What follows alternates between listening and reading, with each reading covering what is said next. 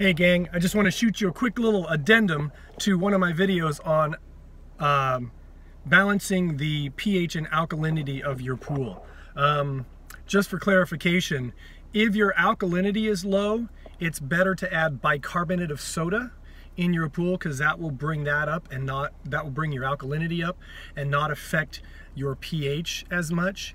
And if you want to bring the pH up, you're going to want to add soda ash and that will affect the pH and raise that and won't have as much effect on the alkalinity. So again, just to reiterate for clarification, um, if you want to raise your alkalinity, add bicarbonate of soda.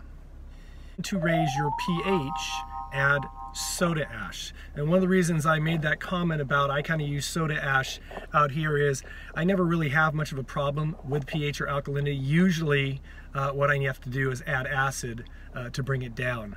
Um, and then once in a while the pH is really low because of kids peeing in the pool and so I throw in some soda ash. But other than that that's all I use more, normally. So anyway uh, thanks to people who clarified that for me. I hope that helps.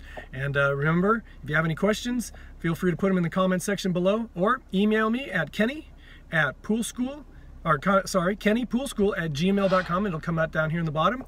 And remember have fun be safe and always watch your kids around water